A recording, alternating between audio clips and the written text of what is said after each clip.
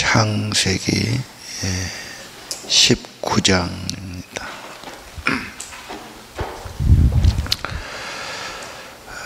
천사가 18장에 아브람에게 갔는데 아브람의 천사 대접 이 대접 잘한다는 거 굉장히 중요하다. 하나님께서 어려운 이웃을 돕고 대접하는 것 내게 한 것이다. 내게 한 것이다. 그래서 극진히 대접한 그 아브라함의 그 복된 사람, 인품, 가정 보셨습니다. 그리고 축복을 보았죠. 19장은 정반대의 소돔 고모라에 가니까 롯이 있었습니다. 롯도 그런 대로 지휘가 있어서 성문 앞에 앉아 있죠. 알아보고 영접하고 인사 잘하고 내 집에 들어서 쉬어 가십시오. 3절에 강청에서요. 식탁을 베풀고 이제 빵을 만들어서 대접을 하죠. 거기까지는 좋습니다. 그런데 그 동네 사람들, 도시 사람들이 끌어내라고 왜요? 상관하리라. 이 말은 동성애를 의미합니다. 지금도 소도미스트, 소돔이 그러면 그 성적인 범죄, 변태, 무슨 그런 동성애를 뜻하는 단어가 돼버렸어요. 그러니까 지금 물론 천사니까 좀 이쁘게 생기고 그랬겠지요. 잘생겨.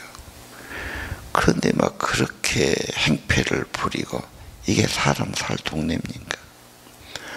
물론 소동 고모라가 풍부해요. 물질도 풍부하고 농사도 잘 되고 목축도 잘 되고 그래 거기를 선택하러 갔지요.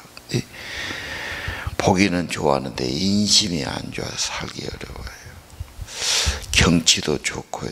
집도 좋지만 주위 사람들이 좋아야 좋은 거예요. 안 좋은 동네 이상한 이웃이 옆에 있으면 고통스러운 겁니다. 그 정말 그 도시가 문제가 있거든요. 그래서 소돔의 타락, 번영하는데 정욕이 많아지고 성적인 타락이 많고 번영한다고 인간성이 좋아지는 않아요. 차라리 어려울 때는 겸손하고 엎드리기도 하고 뭐 이런 게 있는데 좋은 게 다 좋은 건 아닙니다. 그래서 정말 해서는 안 될 짓을 하려고 그러지. 악한 사람 만나면 큰 고통 당합니다. 그래서 딸을 내주겠다고 그러죠. 그것도 좀 우리 상식은 안 맞지요. 어떻게 자기 딸을 내줍니까? 그것도 안 맞은 소리고. 나중에는 네가 법관이냐 그러면서 막 죽이려고 달라들지 않습니까? 이건 힘으로 하는 겁니까? 떼거리로 하는 겁니까? 이게 무슨 폭력입니까? 인간의 도리가 아니죠. 그게 윤리와 도덕은 다 없어졌고 있다는 것은 인간의 정욕과 죄만 가득했다. 인간에게 어떤 어, 도움이나 무슨 일은 좋은 게 아니지요. 뭐 어떻게 남 모르는 사람 힘없는 나그네 폭행하려고 그러고 성범죄하려고 그러고 힘으로 물어붙이려고 숫자로 밀어붙이려고 그래 심판 받는 거 아닙니까? 이 동네를 더 놔두면 안 된단 말이에요. 롯의 선택은 물질만 보고 갔어요. 시집 갈 때도 돈 보고 간 사람도 있고요. 직장 들어가도 한 푼 더 준데 보고 간 사람이 있어요. 그것만 봐서는 안 돼요. 희망을 봐야 되고요. 거기에 무슨 정도가 있어야 되고, 뭐, 그런 것 좀 있어야지. 다는 아니지만 잘산 집 가서 인간 대접 못 받고 형제간들 재단 갖고 싸우고 사람 사는 짓거리가 아니에요. 밥만 먹고 사는 게 아닙니다. 인간답게 사는 거죠. 절대로 그 환상 버려야 돼요. 뭔가 가지만 사람은 교만해지고 건방져지고 신앙도 없어지고요. 좋은 데 쓰면 좋아요. 그러나면 그것도 해가 되는 거.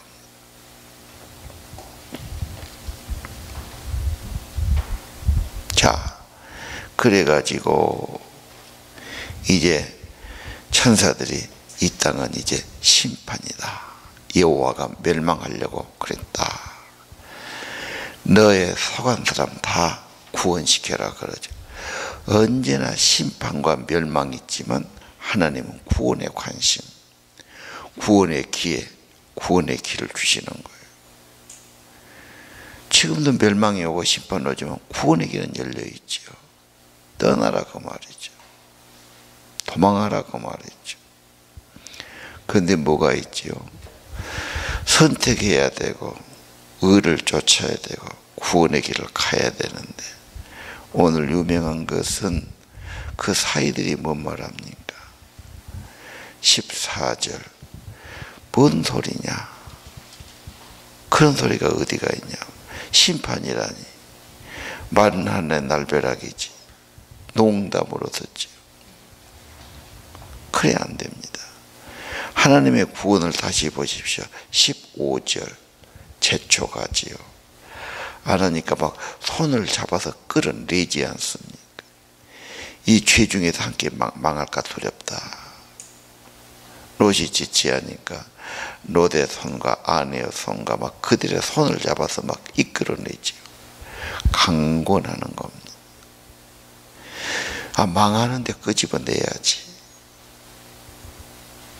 이것이 전도자의 마음이고 전도는 강권에서 내 집을 채우라고 그랬다. 누가 내가 아는 사람이 죽어가는 데 있으면 끄집어내지 않겠습니까?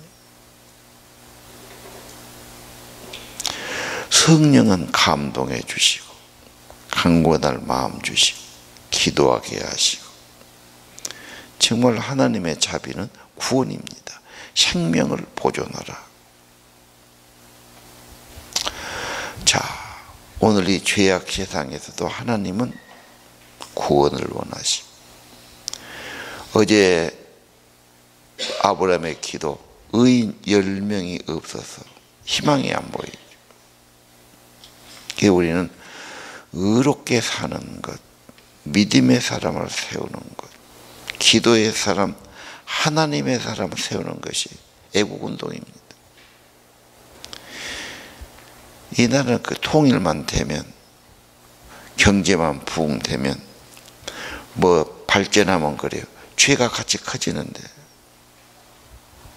하나님의 시각에 보면 하나님의 사람 키우는 것이 애국 운동이고 이 나라를 살리는 길입니다. 누가 뭐라 해도요. 문제는 말씀을 의심하고 무시합니다. 잘 보지도 않고요. 건성으로 보고요. 큰 영이 병들었다는 증거입니다. 건강한 사람은 밥을 잘 먹습니다. 믿음이 좋고 은혜 있는 사람은 말씀을 착실하게 받아 먹지요. 내 안에 간직하지요. 그 말씀에 감동받지요.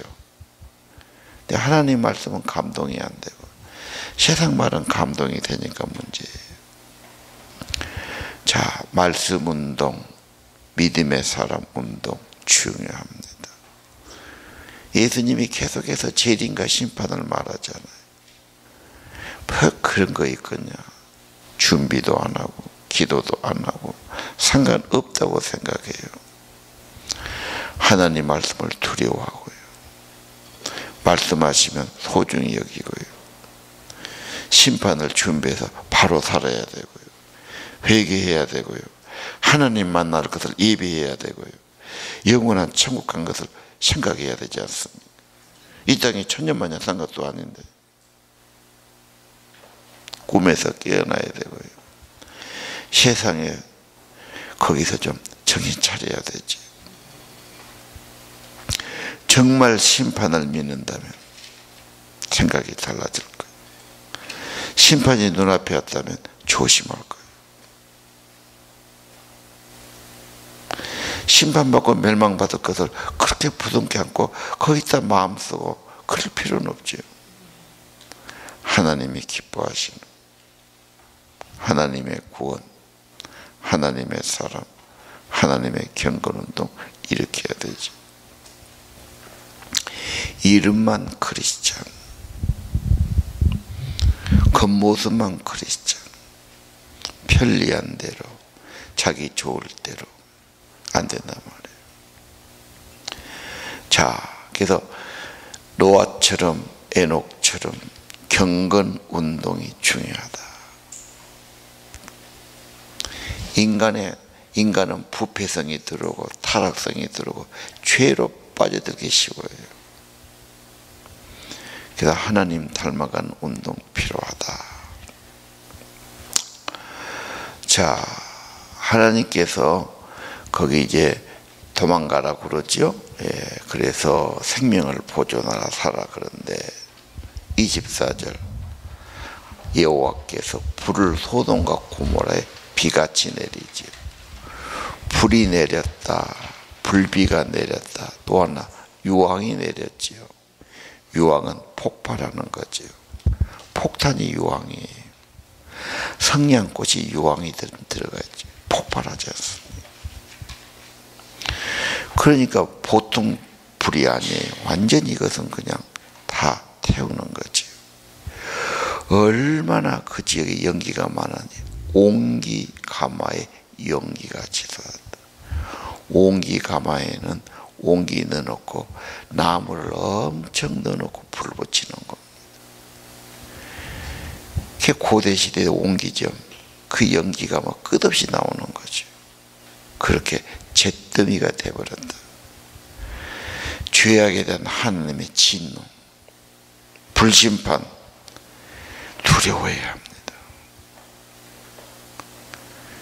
이런 심판을 당하고 심판을 보면서도 가자 물질 따라가고 죄 따라가고 멸망 따라간다면 어리석은 자가 아니에요.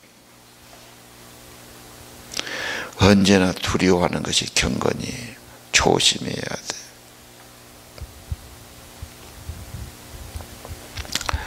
특별히 로데처 생각하라. 신약에도 그 로데처를 생각하라. 미련이 있어요, 미련. 물질의 미련, 살림, 돈. 끌려가면서도 뒤돌아보니라고 정신이 없죠. 그래서 저주받은 여자, 로데처. 세상 미련, 세상 욕심 좀 내려놔야 된다. 내 생명은 하나님이셨고 하나님이 주관하시고 앞으로도 하나님께 내 소망이 있는 것입니다. 하나님께 나를 드려야 되고요. 의지해야 되고요. 모시고 살아야 되고요. 주님 따라가는 주의 백성 되어야 되지요. 왜 로데철까? 막그 여자는 그쪽 사람인 것 같습니다. 믿음은 하나도 없어. 욕심만 있어. 경건도 없어. 말씀도 없어. 재단도 없어. 딸도 엄마를 본받았어. 성적인 개념도 없고요. 윤리도 없어요. 그럼 뭐예요 이게? 짐승하고 뭐가 다릅니까? 이게 롯이 베드로전서에 보면 고통당해요. 몸은 편한데 돈은 많은데 무업천지니까 마음이 편치 않아. 마음이 편치 않으면 뭐하러 거기를 갑니까? 거기를 왜 살아야 됩니까? 떠나야지요. 하나님과 동행해야 되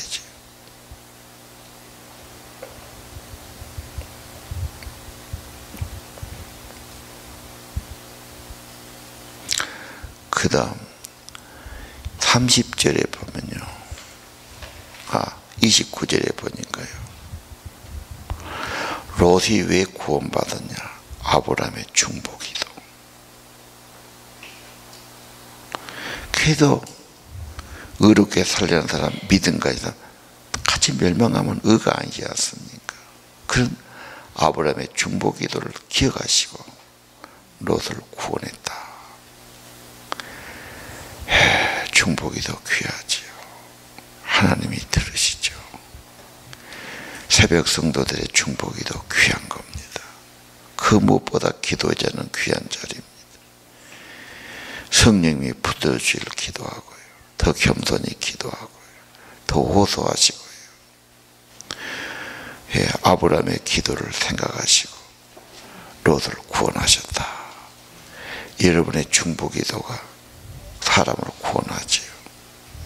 전도도 기도부터 해야 돼요. 여러분의 부모를 구원해야 되겠지. 형제를 구원해야 되지. 가족 구원해야 돼요. 눈물로 기도해야 됩니다. 하나님이 기도를 들어주실 겁니다. 사임절 이하는요.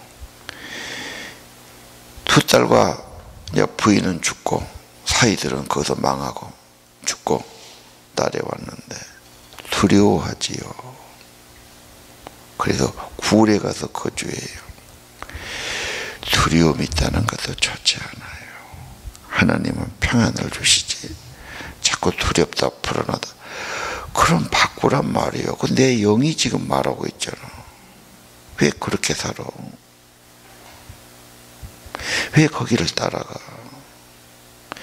두렵단 말은 하나님의 영이 내 영혼이 지금 신호를 보내는 거예요. 그거 하지 말라는 거예요. 하나님이 두려움 주겠어요. 자꾸 세상 것을 받아들이니까 두려움과 걱정이 있는 거죠. 그렇게도 어리석을까? 자, 두려웠다, 꾸려들. 그래서 자기 아버지하고 상관하고 아기를 낳아요. 막된 집이죠. 이게 벌써 소동 고모라는 그런 의식도 없어요. 짐승 비슷해요. 지금 한국 사회가 돈, 돈 하는데 윤리가 없어졌어요. 힘이면 된 줄 알아요. 밀어붙이려고 그래요. 너무도 살만하니까 죄가 많아져. 특히 성적인 죄. 이게 망국적입니다. 정말 타락한 문화지. 정말 우려해야 돼요. 서양 가면 그러네요. 깨끗해요. 정말 이거 이거 우리나라 이거 안 됩니다. 정말 그래가지고 아버지하고 아들을 자식을 낳았단 말이에요. 성적인 죄는 자식의 문제가 되지. 두고두고 문제가 되지. 아브라함이 이스마엘 낳고 계속 고통되잖아. 그게 조심하라는 거죠. 자, 그래가지고 롯의 말년도 좋지 않고 딸들도 문제가 있고 축복이 안 되죠. 롯은 것을 보고 선택했어요. 돈 보고 선택했어요. 인물 보고 선택한 거예요. 하나님 따르지 않았어요. 결과는 어디에 있는지 아셔야 돼요.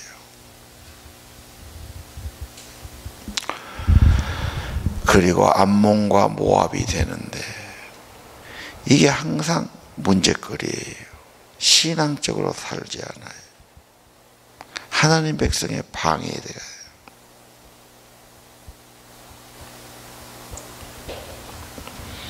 그래서 우리가 거듭나야 된다. 믿음의 족보, 믿음의 가정 가야 된다. 믿음의 뒤를 이어가야 된다. 어, 세상은 거꾸로 살고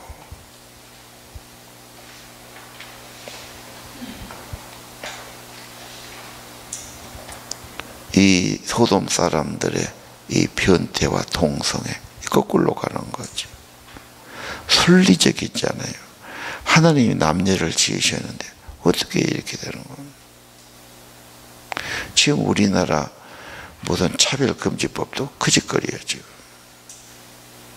이게 통과되면 정말 망조입니다.